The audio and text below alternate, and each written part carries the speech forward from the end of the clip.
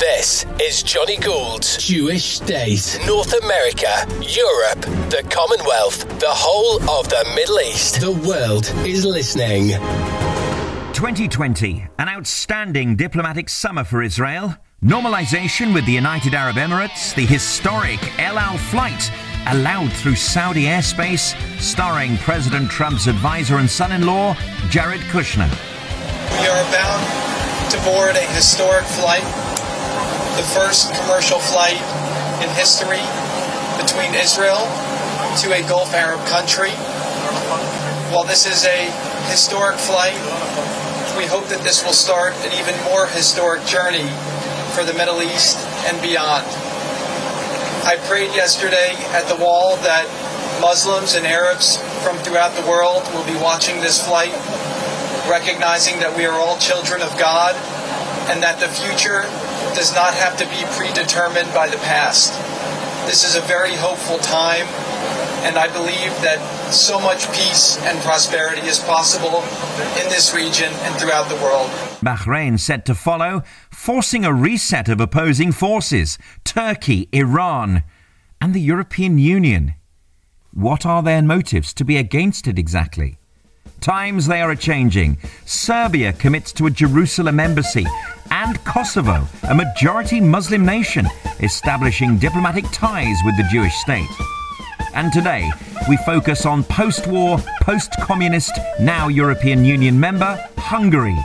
They're confronting their own 20th century history to make their 21st century better, to be constructive members of the European Union, to reach out to Israel, and use their experiences to teach and influence. Ambassador Ferenc Kumin says two generations along, there's now a healthy distance from the horrors of the Hungarian Holocaust. Is there? What can a modernized, globalized Hungary with open borders show us? And how can they learn from the past? We feel a moral drive to strengthen our ties to Israel and the Jewish community, says His Excellency. And when you have that moral drive, it makes it easier. You don't hesitate. And to do that, the past must be acknowledged. The Holocaust in Hungary was swift and terrible, starting 19th March 1944 the invading Nazis, led by SS officer Adolf Eichmann, who arrived in Budapest to supervise the deportation of the country's Jews to Auschwitz. And between the 15th of May and the 9th of July 1944, over 434,000 Jews were deported by train mostly to Auschwitz, where they were gassed on arrival. 91 year old Eva Schloss, stepsister of Anne Frank, is a living eyewitness to the horror of this mechanized carnage. This happened. She saw it happen as it unfolded over the short summer weeks, and I interviewed her in the episode directly after this. My mother and me were uh, chosen then to work in Canada. I don't know if you've heard that. That was a nickname, Canada being good and plenty and so on, um, where all the things which the transport took because we were naked we had to leave everything, and it was all taken to this place called Canada, and we had to sort out the things. Uh, it was taken all back to Germany. And I saw those Hungarian Jews coming because Canada was next to that train where those people arrived. Wow. And there was very few selections. And most of those Hungarian Jews, I saw that, went straight to be gassed. So, and I felt feel sometimes guilty because of those people were killed and were collected. Then May, June, I had a better job, but of mm-hmm. course, somebody else would have done it if I wouldn't have done it. And though I was born in 60s England, this rings in my ears, echoes in my family. My grandma and grandpa escaped Vienna, then part of Austria Hungary. Hungarians and Israelis reach out to each other now Within the EU, Hungary plays an important role as a supporter of Israel's regional stability and as a strategic partner. But as Ambassador Kumin is first to declare, a new cooperation wouldn't be possible without confronting the past. Parents didn't tell to their children. It was something, a, a little a strange mixture of the memory of the Holocaust, the fear that was still around in the families, and the communists who just wanted to, to avoid this topic. Mm-hmm. Holocaust itself wasn't discussed even in the schools. When, when I was an elementary school student, probably we had something in the, in the history book, but of course, we, the, the, the, the entire curriculum avoided to really discuss the whole thing. I, I had to learn the true facts of the Hungarian Holocaust and what role we played in it as Hungarian authorities, Hungarian government, how it was generally speaking, in my adulthood. It, it, was, it was a very, very strange realization of how I missed a very important aspect of our history. So that's why it's, it's, it's now super important for us to put it correctly in the curriculum. This episode is all the more remarkable as I simply wouldn't be able to do the same with Poland, another EU nation who refuse to confront their involvement in the Holocaust. In fact, they've outlawed anyone from accusing Poland of complicity. It was the Germans and don't say otherwise, they claim. In episode 27, Baroness Ruth Deech, herself the daughter of Polish Holocaust survivors, spoke in anger and consternation that Poland were even allowed to join the European project without adequate apology or compensation to the Jews they murdered. Poland really should never have been admitted to the European Union. Just before Poland was admitted, they promised to pay restitution. At the last minute, they withdrew that on the ground they weren't well off enough, which is really ridiculous. Not only are you right about Holocaust denial of any part they may have played, but just today I was reading that Poland plans to make it a criminal offence to seek restitution or to offer restitution. Now, nobody like me is seeking full restitution of the property that was theirs in Poland but some acknowledgement, a token, even a Stolperstein, as the Germans have done. In episode 39, Jason Greenblatt, co author of Donald Trump's Peace to Prosperity Plan, himself the first generation American, son of Hungarian immigrants, told me that he seeks Hungary to influence Europe for the better. And that's where we start this interview with Hungary's ambassador to the UK from the embassy in London, Ferenc Kumin. I have a question, by the way, Please. from Jason Greenblatt for he was my last guest okay. on the show. This is the first face to face interview I've done since lockdown, which was how I used to do things. Ambassador Kumin, thank you very much for your hospitality, for welcoming me here to the Hungarian Embassy in London. Thank you for your interest. This has been a moment of good relations, I think it's fair to say, between Mr. Orban and Mr. Netanyahu. Indeed. Unprecedented, actually, Indeed. I think, in the history of the State of Israel. Yes, if you just take the, the fact that, that the first official visit of an Israeli prime minister could only take place uh, in 2017, that just gives you an idea about how difficult history we have behind us uh, with the State of Israel and Hungary. And of course, it had to do something with our with our dark decades under communist regime where we had orders from Moscow, for instance, to break up our diplomatic ties with Israel after the Six-Day War. And so we had to resume these ties uh, right after the change of regime, and we were among the first uh, countries in the region who did so. Uh, and, and from that moment on, gradually, slowly, with a good sense of direction, we could get to where we are now it's, it's, very easy to say because this is a fact that the best possible relationship between the two countries. And we have a lot, of course, to share and we have a lot to care about. Just take the, the 300,000 uh, Israeli nationals who have Hungarian origins. They, they speak Hungarian. They have Hungarian, very strong Hungarian identities. And of course, it's, it's, it's very difficult with our history keeping in mind what, what happened to, to our Jewish compatriots uh, at the end of the war, the Hungarian Holocaust itself, why why many people felt that they have to uh, had to leave the country.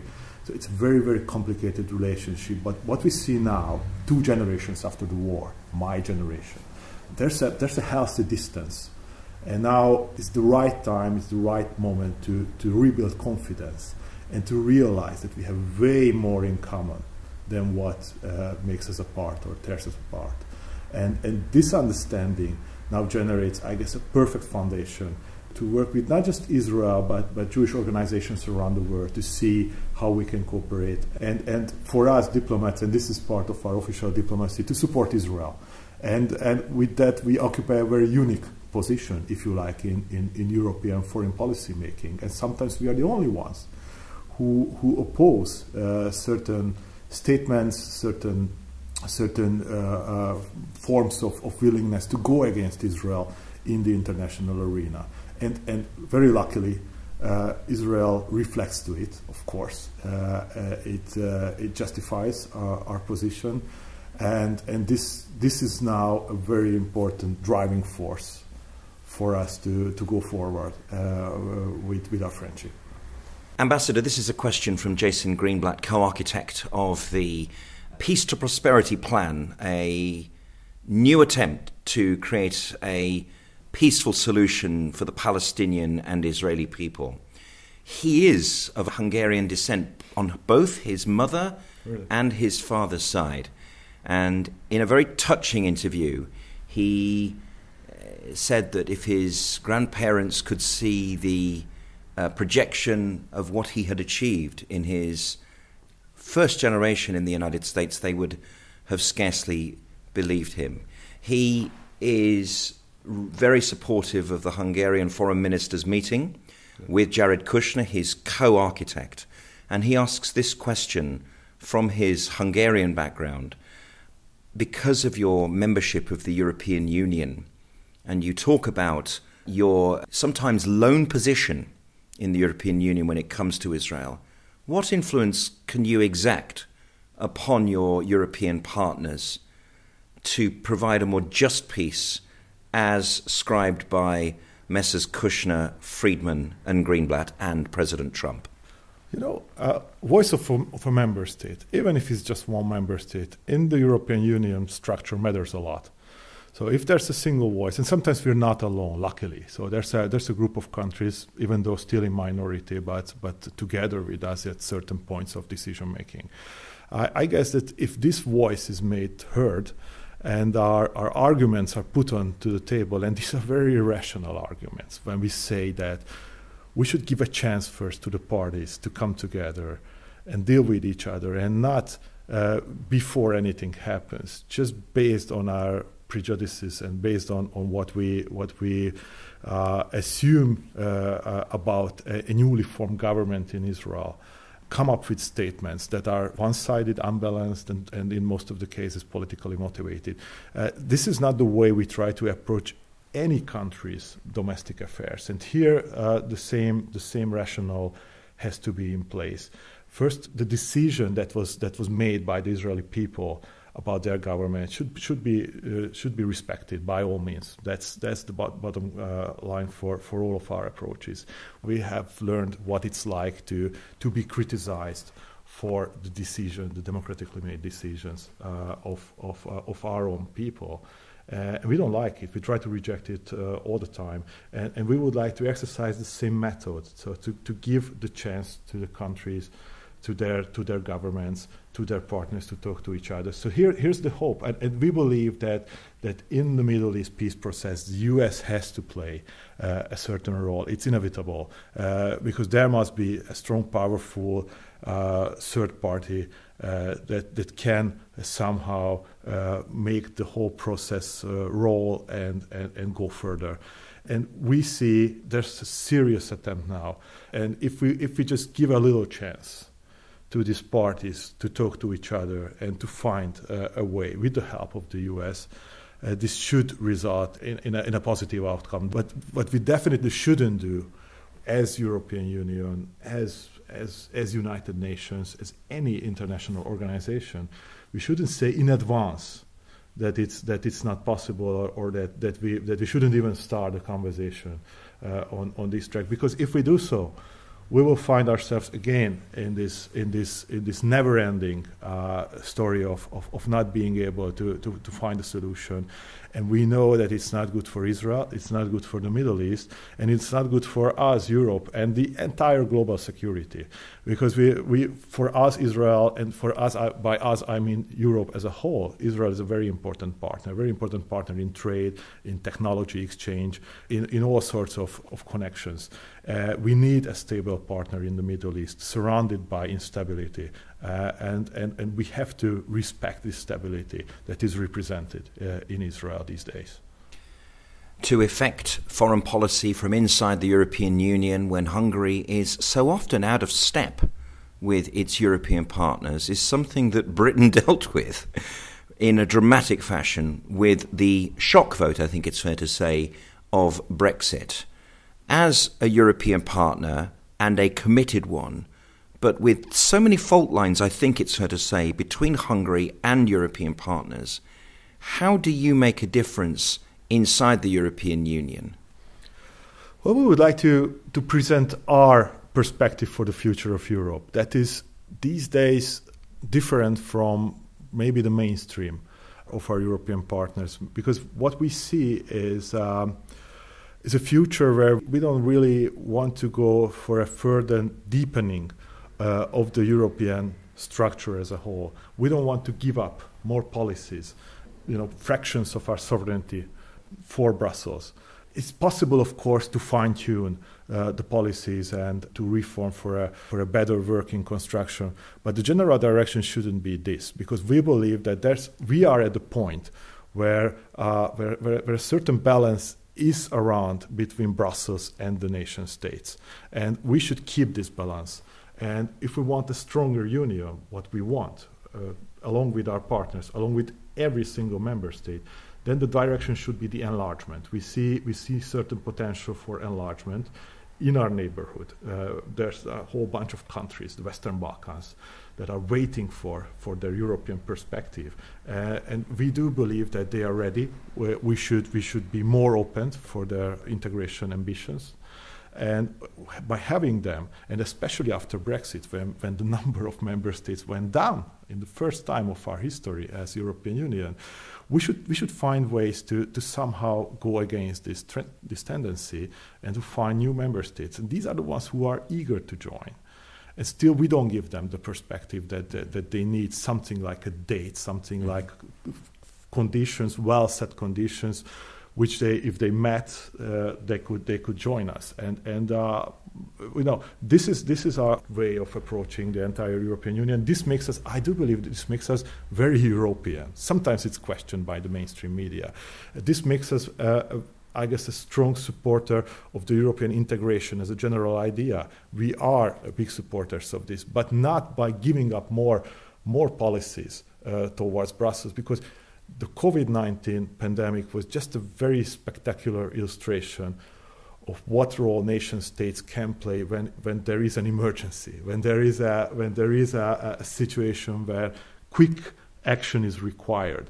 And the, the, the, Brussels bureaucracy was really not there to be able to, to step in and, and do the right thing immediately, which is I wouldn't say it's okay, but, but by, by having the nation states uh, with their capacities in place just gives us the security uh, of our people when a, when a situation such as this was comes around, then we are able to, to act to the right direction.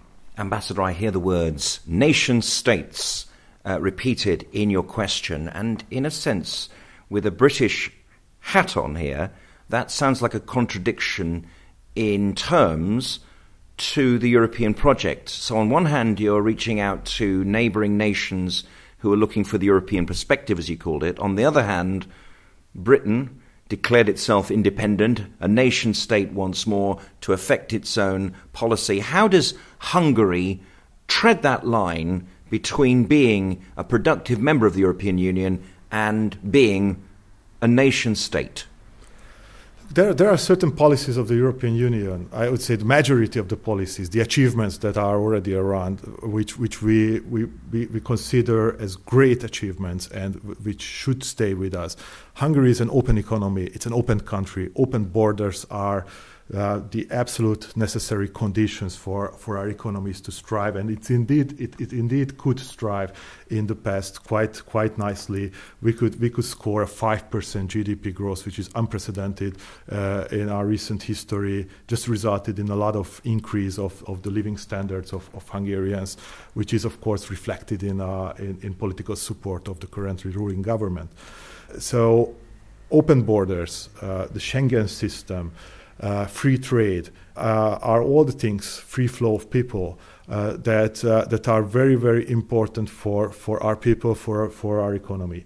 Uh, but what we don't need is further concentration of power uh, in Brussels that could somehow block us in decision making in certain fields where we do need quick decisions. Sometimes we need special, tailor made decisions for our own country. And we want to keep this potential.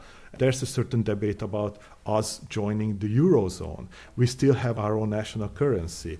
And the financial crisis showed us that it still has its benefits to have your own national currency.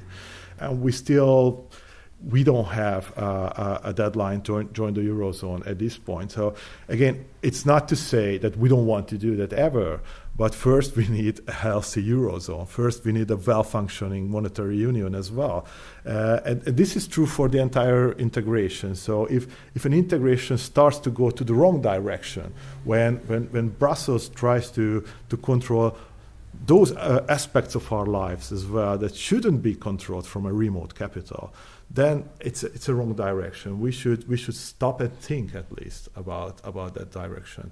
So that's where we that's where, that's that's that's why we say that that further deepening of the integration is, is something that, that, that, that we should reconsider at least. Can we talk about the Jewish community uh, in Hungary? It was a huge community pre the Holocaust, a terrible tragedy a European Holocaust. Many of the Jews of Hungarian descent now live in Israel, the United States, Canada, the UK, France, uh, Belgium, and other countries around the world, South Africa, Australia. I'm not going to name all the countries, but, but many countries. What is the state of the Jewish community now in Hungary? How do they feel as citizens in a modern Hungary post war, post Nazism, post communism? Very quick word on, on history because uh, to answer your question, you need to understand the, the very tragic nature of the Hungarian Holocaust. It's been a very quick procedure by the end of the war. After the German occupation of Hungary in 44, it started uh, in early April. And it was very tragically effective on the countryside, mostly where the Orthodox Jewry lived in Hungary. So as a result of the Hungarian Holocaust, that only only lasts for for for I, I, I hope I, I, say it correctly, for three months, but in a very active fashion, very tragic. Uh, the Orthodox Jewry almost entirely disappeared from the country. Uh, whereas in Budapest, there were more ways to, to save uh, the Budapest Jewry. There were more ways to, to, to hide them for, for those uh, Hungarians who, who tried to help, for diplomats who were involved, like Raoul Wallenberg, who were involved in saving Jewish lives. So, what eventually was an outcome of this very tragic couple of months that Hungarian Jewry mostly concentrated to, to Budapest, the capital city. And those countryside centers of the Jewish life, like the northeast, which was very important, mostly for the Orthodox, completely disappeared. And uh, the, the, way of life completely changed in those, those regions of Hungary. What is a, a wonderful development from this, from this very tragic setting that now after two generations, which is, I, I, repeat, I guess it's a healthy distance now from, from what happened in the war. Those Orthodox Jews who mostly ended up, as you rightly pointed out, in North America and the US mostly, they started to return, not to live just for the anniversaries of the Wander rabbis, the rabbis, and what they call the Jahrzeit in Yiddish, uh, which is very important for the Orthodox life. And sometimes we have tens of thousands of, of pilgrims who just appear in the right place in the right time. You know, this, is, this is a wonderful development for us because now we see that there's confidence in these people who would, you know, their grandfathers would never return, would, would never even suggest to their, to, their, to their family members to return to those places where it happened to them. But that's a very important aspect of the Jewish tradition and heritage, the cemeteries. The cemeteries stayed, even if no one remained in certain villages, the cemeteries stayed there. And in the cemeteries, the tombs of the Wander rabbis, very important for, point for the, for the Orthodox Jewish to return, to be there. Just as important as, this is, this is shocking, this was shocking learning for me, but just as important as to, as to go to Israeli pilgrimage sites, to, to go to small Hungarian villages, and they do that, and they, and they, they would they would you know they wouldn't travel anywhere else but but there they wanted to and they want their, their kid to be there. It's a wonderful development. So we don't have them, but we started to feel them again. We started to to feel the influence of this once flourishing community. well, in, in, in Budapest, of course, we, we've already had this community, but still, it was something during the communist era, the decades uh, under under communist system when Hungary belonged to the outer empire of the Soviet Union. It was just a topic that no one talked about. If you're Jew, if you have any identity, identity was something that, that the communists wanted to abolish. They, they didn't want to talk about that. So what, what Jewish people themselves talk about is a lost generation. I have a very close friend who learned in his early 40s that he, he was Jewish because parents didn't tell to their children. It was something, a, a little a strange mixture of the memory of the Holocaust, the fear that was still around in the families, and the communists who just wanted to, to avoid this topic. Mm-hmm. Holocaust itself wasn't discussed even in the schools. When, when I was an elementary school student, uh, probably we had something in the, in the history book, but of course, we, the, the, the, the entire curriculum avoided to really discuss the whole thing. I, I had to learn the, the, the true facts of the Hungarian Holocaust and what role we played in it as Hungarian authorities, Hungarian government, how it was, generally speaking, in my adulthood. It, it, was, it was a very, very strange realization of how I missed a very important aspect of our history. So that's why it's, it's, it's now super important for us to put it correctly in the curriculum. It's been a big debate. Now I, I do hope that the way it is discussed in our schools is accurate. It's, it's much better than in the past. Uh, there's always room for improvement. I'm, I'm pretty sure about that. But, but Israel was also involved in the development of the new curriculum. We've spent the last, I would say, more than 10 years with constant talks to Israeli partners as well, people from Yad Vashem and, and all, all those, those relevant parties uh, who could have a say in that. Uh, and now, now you know, Hungarian students leave the school with with a, with a knowledge that puts the whole story to a right register in their heads. Ambassador, very bold words, and uh, thank you for saying them. The rise of Hungarian nationalism in the 2020s has seen the rehabilitation of Hungary's regent and de facto leader during World War II, Miklos Horthy. I asked Jonathan Freedland, author of The Escape Artist, the story of two young Jewish inmates of Auschwitz, Rudolf Vrba and Alfred Wetzler, about Israel's improving relationship with Hungary despite the dark shadow of the Hungarian Holocaust in 1944. The Hungarian lives were saved by Miklos Horthy, who is back with a vengeance in Hungary. And Hungary is a great supporter of Israel within the European Union within that group of three Slavic countries that Israel joins in with. Poland has been sort of kicked out in disgrace temporarily. It is it's a very very difficult discussion, mm. and it's a Hungarian discussion I've had with the ambassador here, mm. with Eva Schloss. Mm. Um, what do we do with Hungary? Yeah. So one thing I've discovered about talking about this book is I, have become very very pedantic about things, and so about even just the way words are used because I'm reluctant to give him the credit of saying he spared those lives because it was so self-serving. It was an act of self-preservation by him that he had. He was the regent of uh, of Hungary, the de facto ruler, and he had allowed, turned a blind eye to, the deportation of 437,000 Jews, more than that actually, um, from the Hungarian provinces. Uh, so, I, so Horthy had no problem with handing the Jews of Hungary over to the Nazi occupiers in that spring of 1944. A 56 day killing spree, yeah. actually, that was the fastest, you know this, it yeah. was the fastest period of Holocaust slaughter in the entire period.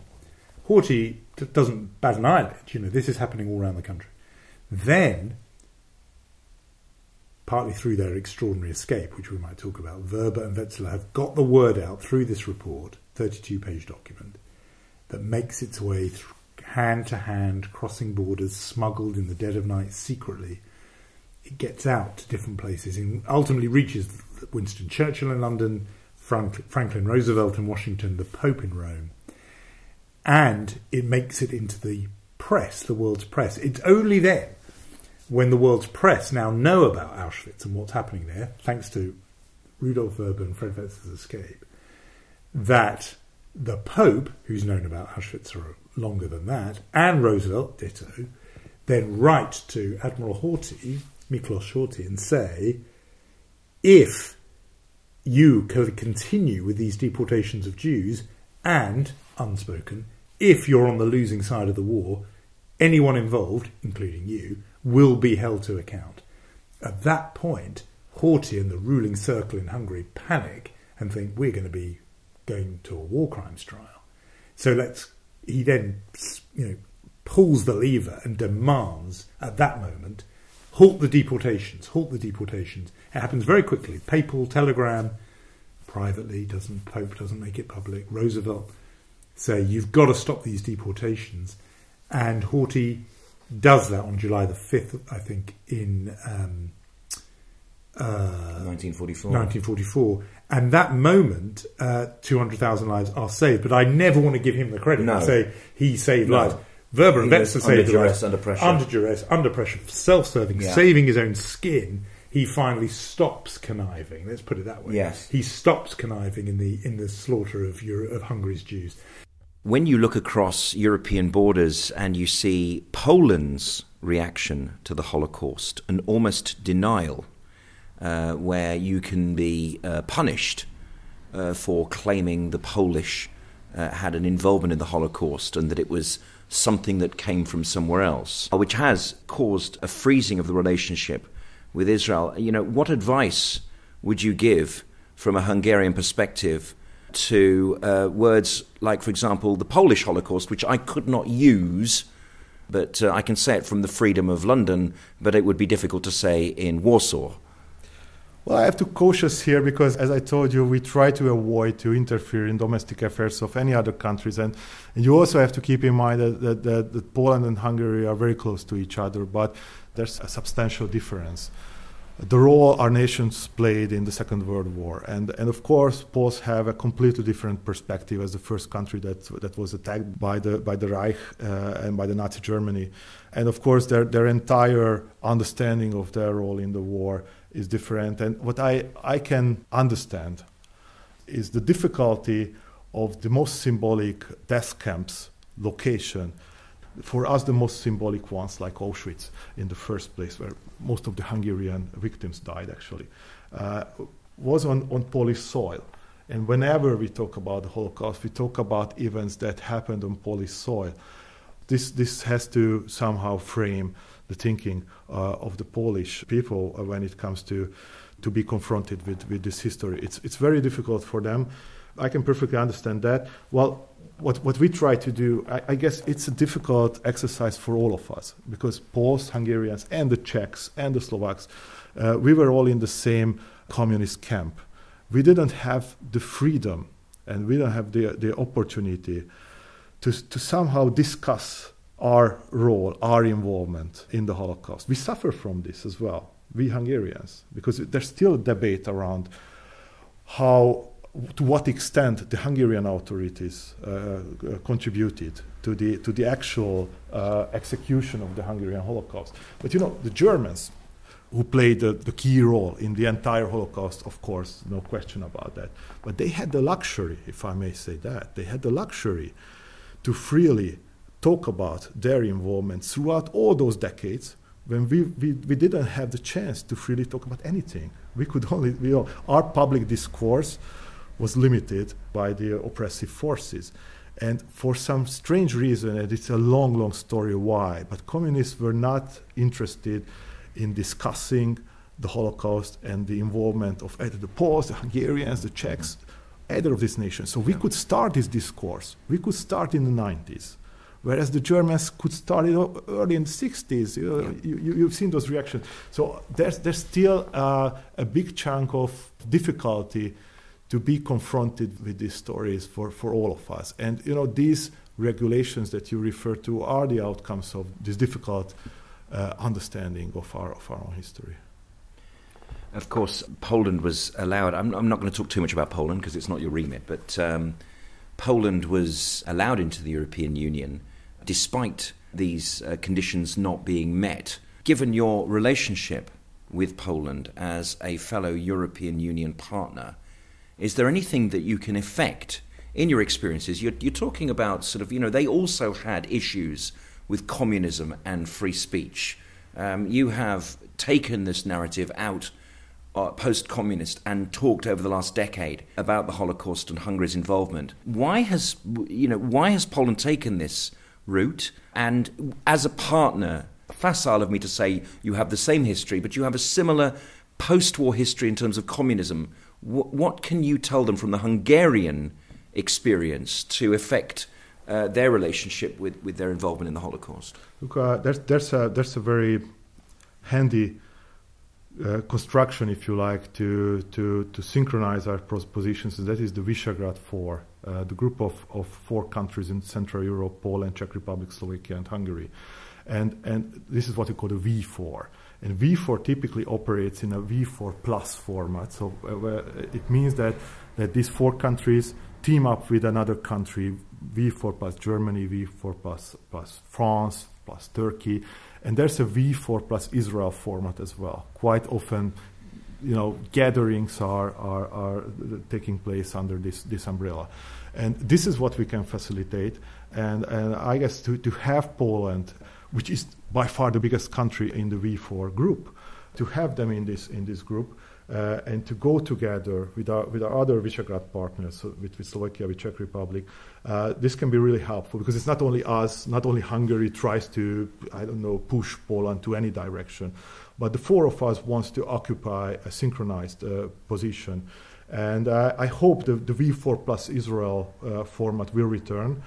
Uh, there was a, a, case in the in the recent past when we couldn't sit down together, and that was eventually ended up in a V3 plus Israel, so not having Poland.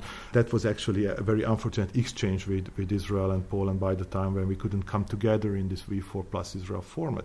But I see, you know, every odds just serve us that, that we will come back to the V4 plus, plus Israel format. And with that, we can play on the strings of a unified Central European position Central Europe will always be very important for Israel and for the for the global Jewish community as well, because just as your partners all the time you talk to, everyone can trace back a family to either Hungary, to Poland, or, or other parts, Lithuania. So I dialogue will will have to be around forever, regardless of political changes. It's, it's, not, it's not a function of who governs, really.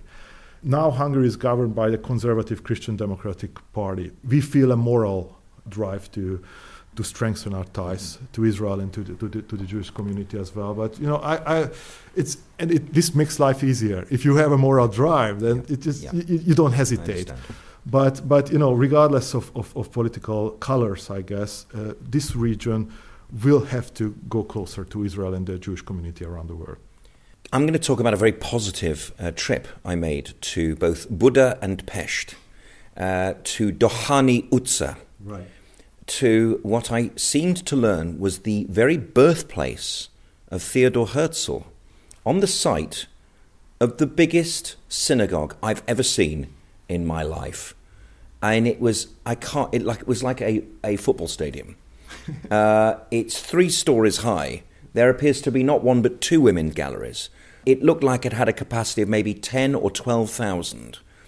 And then I went out to the back um, where there appeared to be a metal, I think chuppah, where uh, a Jewish man and woman marry, and you'd put uh, the prayer shawl, the talit, over the top of it. It really was an expression of the confidence of the Budapest Jews Indeed. just before the Second World War, and now, and now obviously it's empty. It's more of a more of a museum. There couldn't be. There, there will be there services, services there. Yeah, there are services, but right, look, what what this is, uh, if you want the official uh, uh, figures, I guess uh, Dohány or Dohány, as you say, uh, synagogue is the uh, is the biggest synagogue in Central Europe. There are probably bigger synagogues in France. I haven't seen them. it's absolutely I, enormous. I, I, should know which which which are the ones that are bigger, but for sure it's the biggest. Well, I tell you what, I've been I've been to a few synagogues in a few countries, but this one, it looked like you put it, it, could be an airport terminal. It was absolutely enormous. Yeah, it, it is big. It tells uh, a lot about the strengths of the Jewish community in the, uh, I would say, in the first half of the 20th century big families, big Jewish families shaped the, the, modernization of Hungary, generally speaking, the industry, the financial world, uh, all these families played a very important role, and they they integrated a lot. So this was, uh, I would also use the word assimilated mm-hmm. a lot. It's probably not the best thing now to talk about because because assimilation is not something we try to support anywhere with any ethnic or, or religious community. But it's out there. It's but okay. It's, it's out there. And this was Let's the willingness of these good. families because they, they, they wanted to, because they were, this is, this is also very important for, if you talk about the Hungarian Jewry, they were so patriotic. They fought in our wars. They, they wanted to, to become like the, like the Hungarian upper class in, in many, many cases. And this led to the assimilation of these rich families and, and these very important families. And yes, this very structure, this building just shows how, how strong they were. Today we have services, but there's one thing that you, you, you may have also observed, and that's also important. If you travel around uh, in Western Europe and if you approach a synagogue, what you will see from a distance is a high level of security mm-hmm. around. You, you will see uh, people with machine guns, you will see barbed wire, obstacles, and checkpoints, and whatever. This is what you didn't see in Budapest for a reason, because uh, there is security, I would say complete security uh, around the Jewish communities. Uh, we don't encounter with, with significant terrorist threat uh, towards these, these communities. We, we don't have a track record of physical attacks of any sort, not Muslim radicals, not uh, uh, extreme right groups, none of them. Anti Semitism is around, it exists, it's a, it's a problem that we try to address by many, many ways.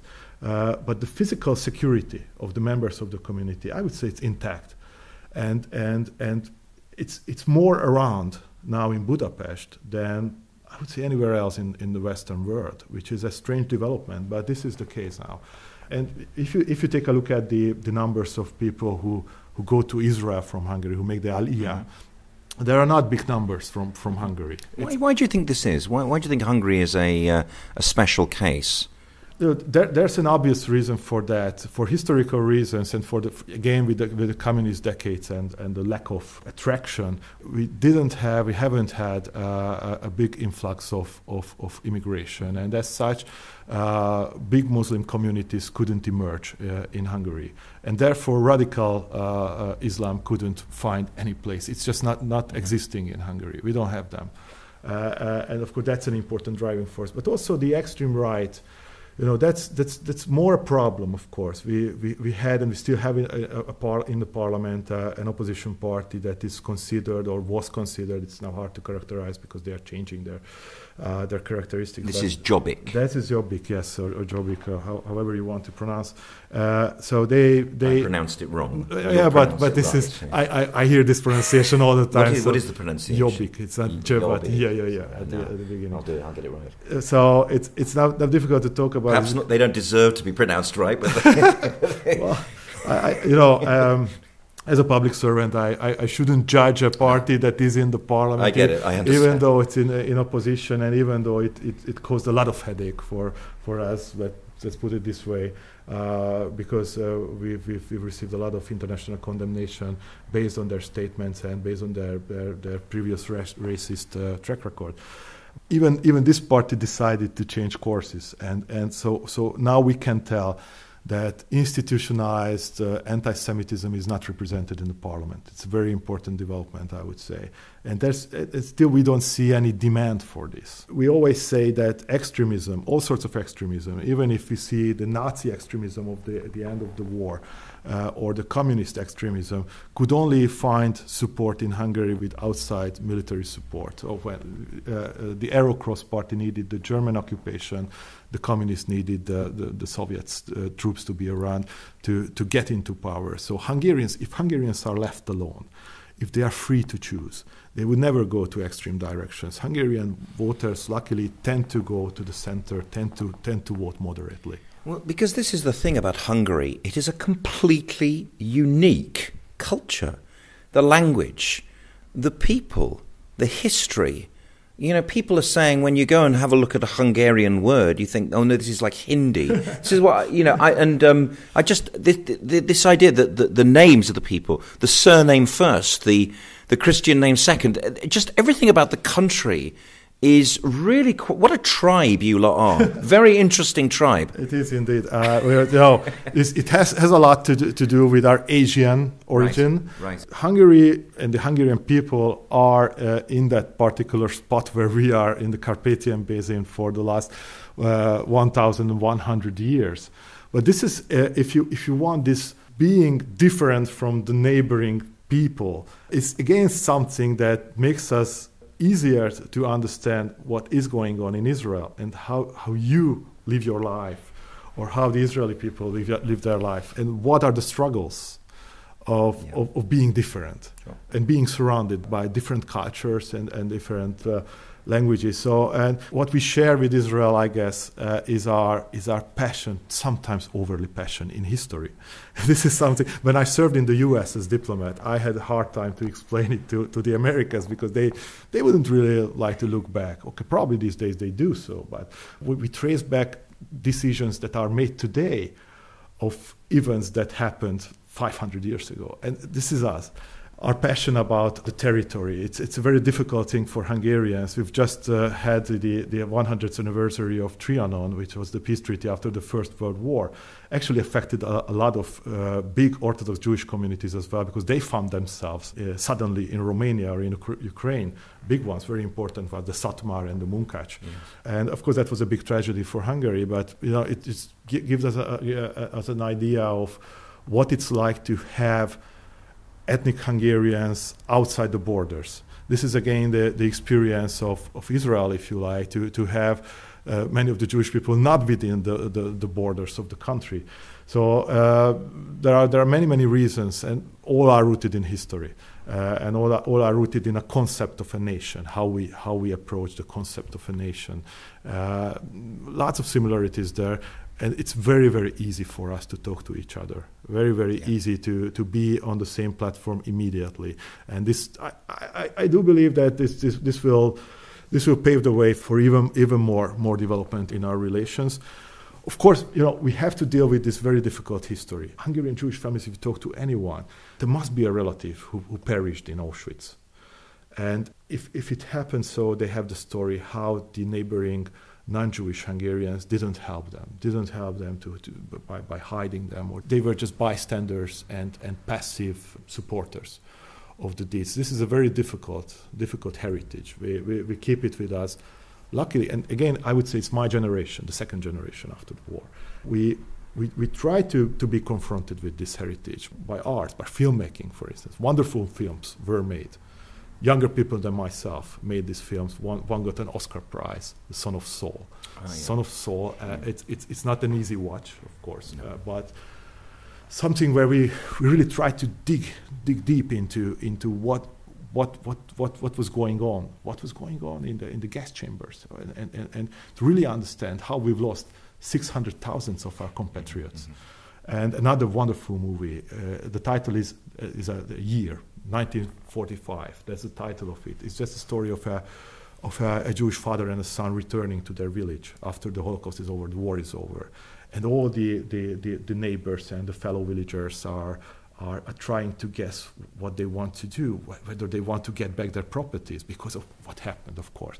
The property of the, of the, of the wealthy Jewish families were, were just distributed among, among the, the, the remaining villagers.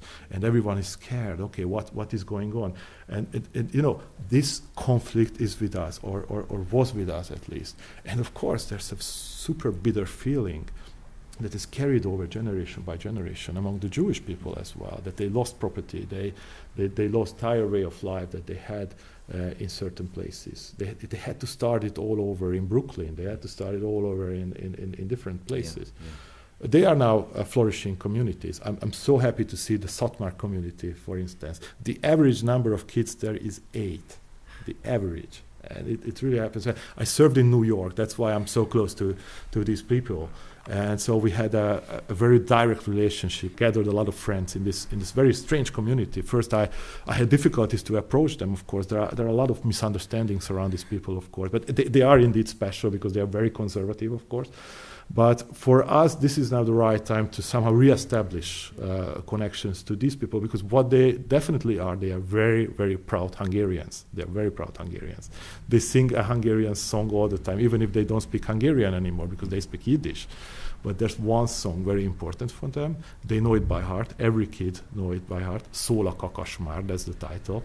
And, and they sing it all the time when there's a celebra- celebration or, or what. So this just gives you an idea about about their their longing yeah. to, to, to Hungary. Várj, modár, várj, te csak mindig várj, az Isten néked rendelt, tied leszek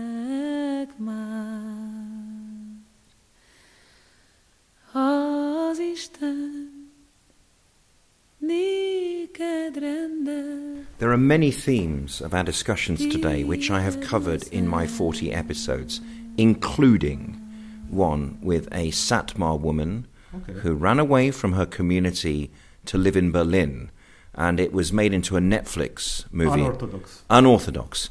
Her name's Deborah Feldman, and uh, she talked in um, fairly mm. neutrally. Yeah, it's, it was, uh, it's easily Amazing. my biggest podcast the life she left and the multicultural life, literally multicultural life that she has in Berlin, but doesn't particularly make a judgment about what's better or worse, but that she chose to live a Western German life. And so uh, the Satmar, it's great to hear you talk about them in, with, with, such detail in uh, Williamsburg and in Brooklyn.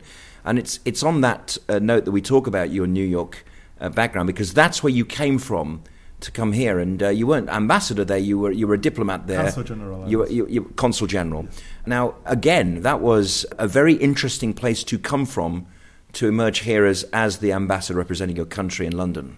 Uh, absolutely, of course. I, I was instructed by friends here in, in London not to make too much references towards my or to my U.S. experiences because it's it's not something that uh, that the British people are, are, are, really happy to, to hear, especially the comparisons. Uh, uh they are not, not happy with that. I can I can perfectly. Yeah, well, you're in good company here. It's okay.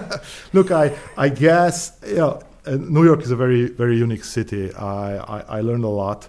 Uh, uh, of course, uh, uh, you know, the problem with Hungarians is just one word back towards uh, to the to, to, to, the way we approach the Jewish community. The problem with Hungarians is that we believe. Uh, I guess I can be critical with ourselves. We believe that the Jewish community is a homogeneous community because this is our own experience. Heterogeneity disappeared with the, with the Holocaust, with the loss of, uh, of, the, of, mm. the, of the Orthodox communities. And so we, we have to learn it from experience how big differences there are and, and, uh, and, and, how an Orthodox uh, or an ultra Orthodox or Hasid approaches Israel, a, a completely yeah. different yes. way. You have to be very careful there.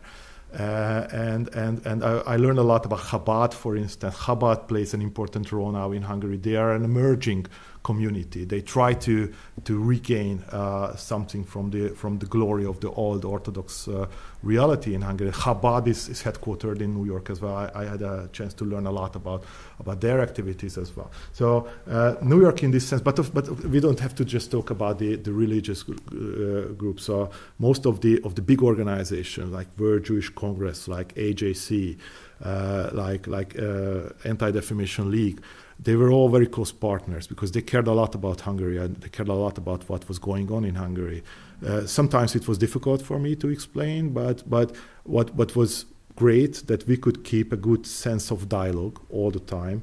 I can tell you that throughout my four years, I could experience an absolutely obvious positive trend uh, in the way we can understand each other. The way, for example, ADL, Anti Defamation League, reflected to, to the way we we addressed anti-Semitism in Hungary. They addressed, uh, they, they reflected it in a, in a very positive sense. They, they even uh, came up with statements, supportive statements, which is which was very new for us because what we got used to, unfortunately, are the are the critical statements. Finally, Ambassador, can I ask you a personal and uh, national question? What are your ambitions for yourself? What is the trajectory of someone who uh, was a consul general in New York, an ambassador in London, and what are your hopes and dreams for your country as well? And are they the same thing? well, it, uh, yes, I hope so as well. Look, I, as, as, I've just started this job, uh, all my hopes and ambitions are focused on this particular job, which is uh, the biggest privilege I could imagine for myself in my professional life. To be here, alone the fact that you are the ambassador of Hungary in this wonderful city to the court of St. James, that, that would be a privilege itself. But to be in this very historic period in this city and to, to fulfill these uh, obligations in the period of the Brexit to be completed and to see a new form of bilateral relations uh, between our countries because we are not fellow uh, member states of the Union, uh, of the European Union anymore, or at least this will be for sure the case by the end of this year. So we will have to rethink a lot uh, about our bilateral relations.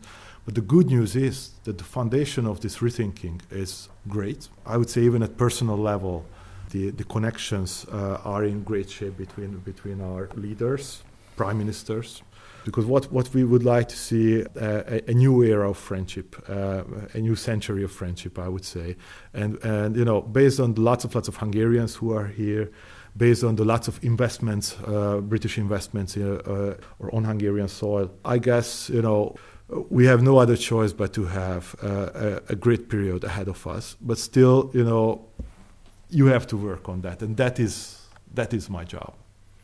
Ambassador, you've talked with uh, great generosity and great uh, personal uh, recollections. I really appreciate uh, the time you've given today. Thank you on behalf of uh, all the audience of Jonny Gould's Jewish State. Thank you so much. I want to thank both His Excellency Ambassador Kumin and Aniko Shebik for welcoming me to the embassy. If you like Jonny's regular podcasts, think about making a donation at either patreon.com slash Jonny Gould or click on the PayPal icon on the donations page at jewishstate.co.uk or buy him a coffee. He loves coffee at ko-fi.com slash Jonny Gould. That's ko-fi.com slash Jonny Gould.